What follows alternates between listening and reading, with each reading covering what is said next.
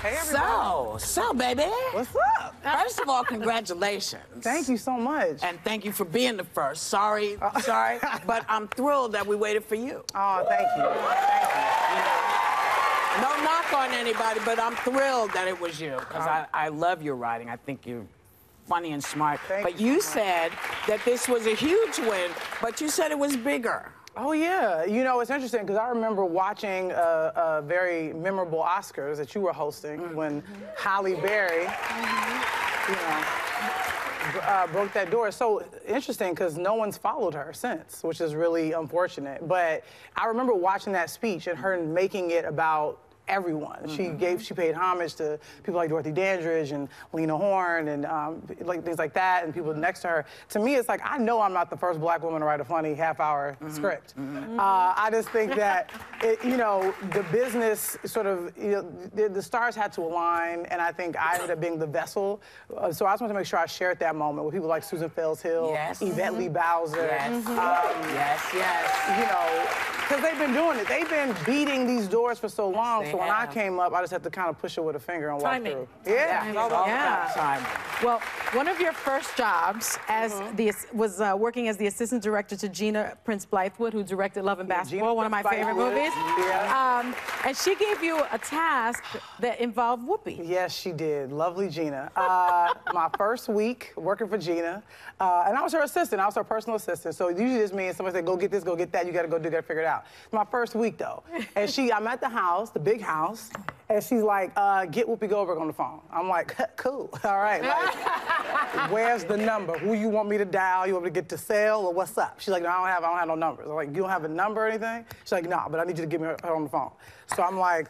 Okay, here we are. It's the Black Devil Wears Prada. We're in it. And, uh, we figured it out. So I just called the View. I called here. I got some security person on the phone that hung up on me, and rightfully so, because if a person just calls saying, "Look, I need to get to Whoopi Goldberg," of course they're gonna hang up. So then I called back a couple times. I was trying to get a black person so they could tell I'm black. and just be like, look, and I finally got something. I was like, I can, tell, like, look, I can tell you're a brother. look, I'm your sister. like, I need you to help me so I can keep this job and live my dream. so then he was just like, okay, well, she don't have a cell phone. I said, okay, that don't help me. He was like, but I can get you this to this person. I said, okay, cool. I called that person. The person answered the phone. It was a guy. He was like, okay, uh, let me call you back. Uh, and I said, okay. So I sat there in the office and I waited. The phone rang. He said, I got Whoopi. I said, perfect. I said, I got like I got Gina. They're connected. Boom, boom. But I was sweating. I was sweating. I'm like, oh man, I was a young black girl from Chicago trying to get Whoopi Goldberg on the phone. But So the- thank you. We got the- it. We had it done. Yes, we did. But what's the what is the thing that you want people to know about that Oh story? man, is that you know what? You can't give up. You got to use whatever you got. Yeah. You know. and persist. Yes, you gotta be persist. Yeah. You got to be You persistent. really do. It's a very important Truly. lesson that people think it's just talent. It's really about persistence. Yeah, man, and also Yeah. too, you like you can't, you got to be humble. You got to figure it out. And I think once I was able to get that done in my first week, I was like, oh, I can get anything done. Yeah. Yeah. The rest is light work. That's right. Humility I'm like is a superhero. Yeah. I, got Whoopi Goldberg on the phone with no number. I made it happen. So let's talk about the um, the Essence of Black Women in Hollywood Oh, yeah. Awards. Oh, okay. yeah. Because you were honored a few weeks ago, and in the speech you said, being born gay, black, and female is not a revolutionary act, but being proud to be a gay, black, female Oh, I love that. What, tell us what you mean. Elaborate. Yeah, I mean, well, I, I think it's very interesting. And here's my real, you know, truth. If you think about Hollywood, there's a lot of people in Hollywood. Yeah. Think about how many black people there are in Hollywood. It's a nice little number, especially we're growing now.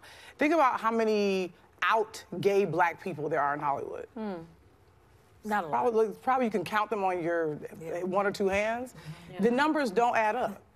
And I think what's happening is there are You people mean it's of color. not? It's a term that there are more gay people in the country, and it's not relative to this. It's like too Yeah, low. I'm just Yeah, talking about in terms of people Yeah. of color being gay. It's like it's what me, Wanda, Rue. You know, it's like Titus. Yeah. It's like I think there's there's a lot of us, but a lot of us don't want to necessarily be public about it. There's still this thing of like, well, it's my private life. But I think honestly, like we have to be a bit of a beacon of light for uh-huh. those young kids of color who are wondering, like, am I weird? Is something wrong with Um, what kind of what quality of life might I have? So for me, I mean, I I don't even think of what I'm doing as very revolutionary. I don't know how to not be gay as hell or black as hell. That's who I am.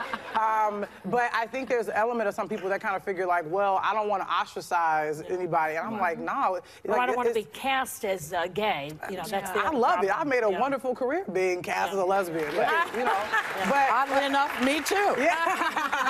you know, I mean, and it's like, you know, it's great to have allies, you know what I'm saying? But I think honestly, I'm just kind of over it a little bit. And I think my thing is, is like I want to be here to hold somebody's hand and be supportive because the more of us there are, the more these also for black folks in the community for them to see because black folks love me. They're like, oh, great. Yeah. You know, and it's like, well, if your niece or your nephew or your daughter or your son, Right. then we- we're made up of the same stuff. We got to talk about this because you are now the creator and executive producer of the Showtime series, The Chi. Ah, yeah, yeah. And it's wonderful. It's about life on the south side of Chicago, Oh, yeah. um, the city where you actually grew up. And we had Common on the show Yeah. um, a couple of weeks My ago. brother. He's also an executive producer, um, and he he talked about it a few weeks ago. What do you hope people will take away from watching this fantastic series? you know that black people are no longer three fifths of human beings. That we are Well, they never fully, were. We exactly, but there are some people that still sometimes forget that we wake up in the morning, we raise our kids, we try to get to church when we can, we try to be good contributing members of society. Mm-hmm. And I think that we rarely see black folks just contemplating, just living, just being. Mm-hmm. Um, and so I really want to show that. I really wanted to show us just living everyday life. And yes, I don't shy away from the complexities of what's going on in Chicago. I understand that we have our issues. Yeah. And I and I, I show that. But I also want to show the aftermath of that. I wasn't really interested in showing the police. I want to show people who are being policed. Mm-hmm. And I really want to show what the community looks like. Right. Because the community I grew up in Chicago was very much a village. My grandmother had, you know, block club meetings and like neighborhood watches. We policed ourselves. Yeah. Well, you've done Um, a very yeah. good job of doing that. Thank you so much. So now I.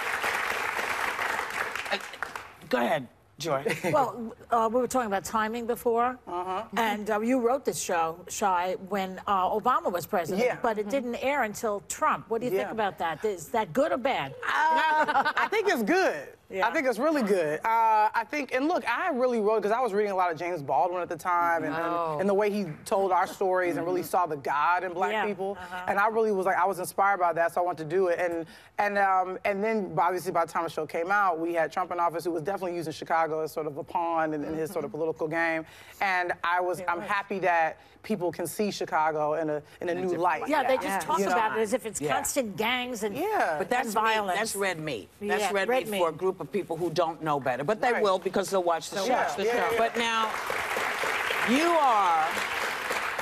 You are in Steven Spielberg, starring in Yeah. Steven Spielberg's uh, new film, Ready Yeah. Player One. We had Uh, it premiered, yesterday, had first. premiered at uh, South by Southwest West to rave reviews. Yeah, they liked it. Uh, how could you not? How could you not?